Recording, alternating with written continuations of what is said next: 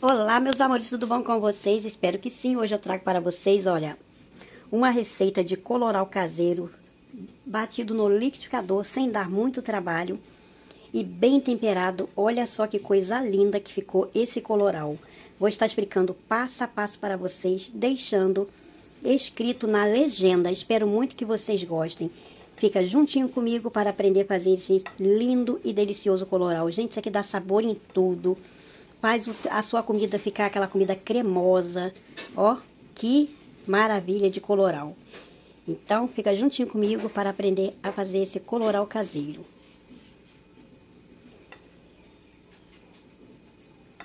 Olá, meus amores, tudo bom com vocês? Hoje eu vou estar aqui preparando um coloral bem simples, tá?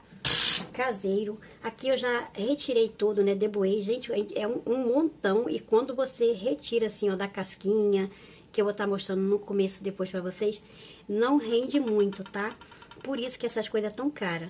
E eu vou estar preparando na gordurinha de porco. Outra dica que eu quero dar para vocês, gente, quando vocês for fazer a banha de porco de vocês, ó, ou vocês comprarem, né, que essa daqui eu faço caseira, vocês prestem atenção que a banha de porco, ela tem que ficar bem assim, ó, macia, como se fosse uma manteiga que tem gente vendendo aí, banha que nem parece ser banha, tá? Hoje em dia muitas coisas falsas por aí. Aí eu vou estar tá colocando aqui, ó, o orucu, né, para virar o coloral aqui e vou deixar torrar um pouco. E hoje eu vou estar fazendo diferente, fazer com flocão de milho. Porque é a mesma coisa que o fubá. Como vai ser batido no liquidificador, aí não tem problema nenhum. Aí vou deixar aqui, quando começar assim, ó, dar uma estouradinha, aí eu coloco o fubá vai começar a torrar. Assim que começar a soltar a tinta, olha, tá vendo? Olha, vai soltando toda na gordura, ó. E começou as bolinhas pular, ó. Aí eu coloco aqui e vou mexer até ficar bem crocante.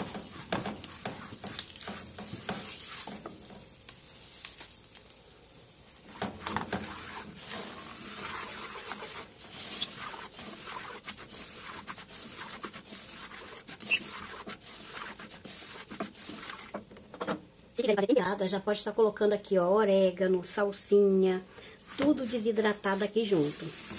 Que depois daqui eu vou deixar esfriar para estar tá batendo no liquidificador. Esse é é um modo hoje em dia mais simples, porque antigamente tinha que bater no pilão, né? Eu já fiz muito isso.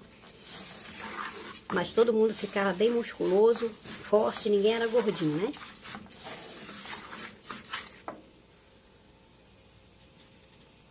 Não pode parar de mexer. Quanto mais você mexe, mais vermelhinho ele vai ficando, ó. Depois, quando sentir que tá bem torradinho, ó, como se fosse uma farofa, bem torradinha, aí vocês podem desligar para depois estar tá batendo no liquidificador, mas tem que bater ele frio. Quando tiver quase pronto, de eu desligar o fogo, eu coloquei aqui, ó, 5 colheres bem cheias de chimichurri para já ficar o meu coloral com sabor. Aí é importante dar uma torrada aqui junto também, para durar por bastante tempo o seu coloral.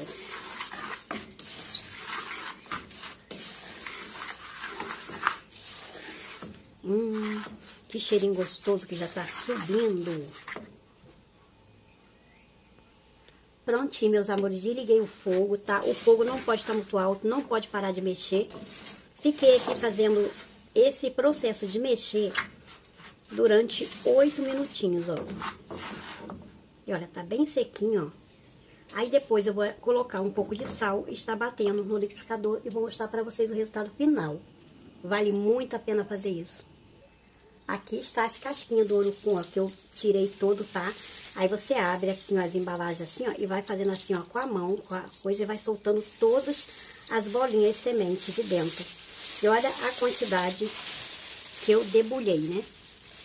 Muita coisa, mas não rende, deu só esse pouquinho. Só que na hora de fazer vale muito a pena porque acaba rendendo, né? Meus amores, já tinha começado a bater, tá? Pensei que estava gravando, não estava. Mas é muito simples, tá? É só colocar no liquidificador, bater. Eu vou, eu vou colocando assim, ó, aos poucos, ó.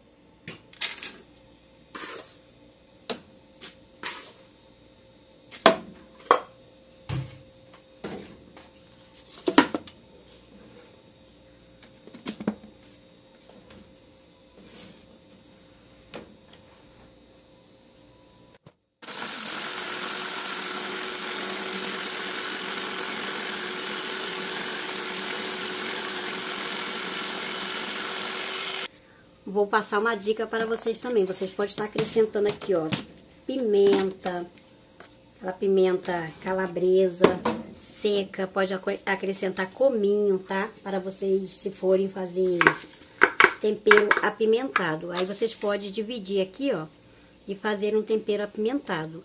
Coloquei também, eu coloquei aqui um meia xícara de chimichurri, orégano e um pouco de salsinha desidratada, tá? Coloquei meia xícara de cada, aí tô batendo tudo junto, que já, ficar, já vai ficar temperado. Aí depois só vou acrescentar um pouquinho de sal, porque ajuda a conservar mais o coloral.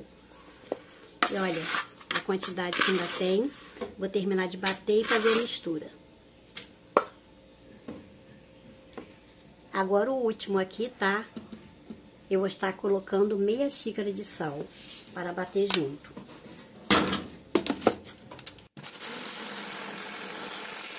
Meu Deus, olha que coloral mais lindo e mais cheiroso. Gente, olha como que rendeu o meu coloral.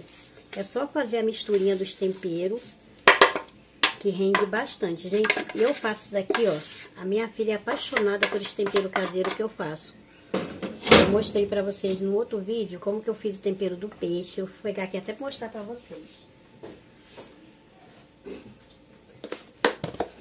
Olha, esse aqui é o tempero de peixe, gente. Olha que maravilha, ó. É muito bom fazer tudo caseiro em casa, ó. Aí depois eu vou estar tá fazendo um de camarão para vocês verem, só de camarão, com uma especiaria. E aqui ficou o resultado final desse coloral maravilhoso, ó. Pena que não dá pra vocês sentir o cheirinho. Primeiro que foi feito na gordura de porco. Tem gente que faz ali no óleo, tá? Coloca muito óleo e feito na banha de porco fica melhor ainda. E é sempre bom acrescentar o sal, porque dura por muito tempo, tá bom? Espero muito que vocês gostem de mais um vídeo aí, ó de tempero caseiro para vocês, feito com muito amor e carinho. Beijo no coração de todos vocês. Que Deus abençoe rica e abundantemente a todos.